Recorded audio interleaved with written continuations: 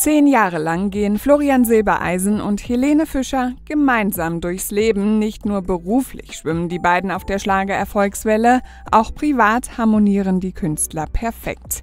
Umso überraschender, als Ende 2018 die Nachricht über die Trennung des Traumduos bekannt wird. Beide beteuern, auch weiterhin befreundet bleiben zu wollen, trotz neuem Mann an Helenes Seite.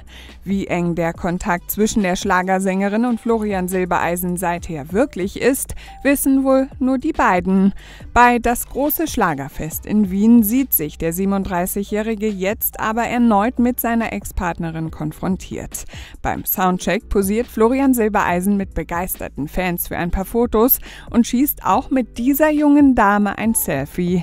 Doch wir haben hier nur Augen für die Handyhülle. Darauf ist nämlich tatsächlich Helene Fischer bei einem ihrer Auftritte zu sehen. Im sexy Glitzer-Outfit rockt die Sängerin Sängerin die Bühne. Die Ex-Partner teilen wohl nicht nur die Vorliebe für Musik, sondern auch die Fans.